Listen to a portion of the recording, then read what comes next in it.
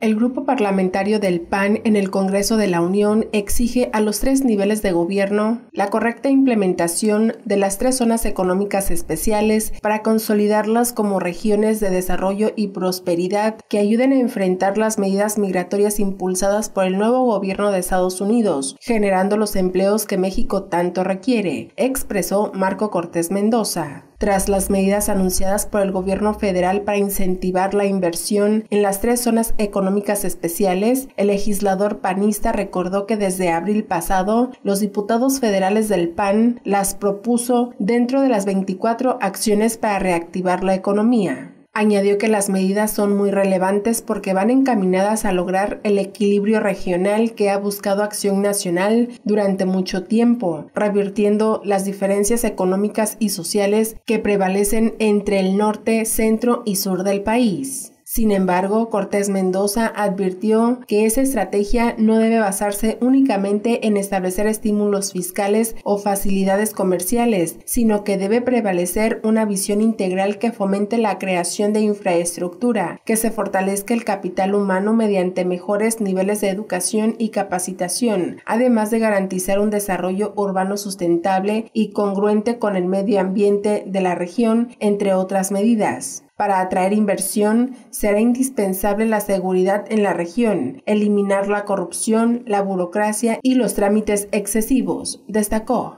Finalmente, expresó que el Partido Acción Nacional reitera su compromiso con mejorar la situación económica de México, como es el caso de las zonas económicas especiales, pero al mismo tiempo mantendrá su lucha para revertir la tóxica reforma fiscal aprobada por el PRI gobierno y sus aliados, a fin de que bajen los impuestos y que el país vuelva a crecer a los niveles que se tenían en 2012 con los gobiernos del PAN.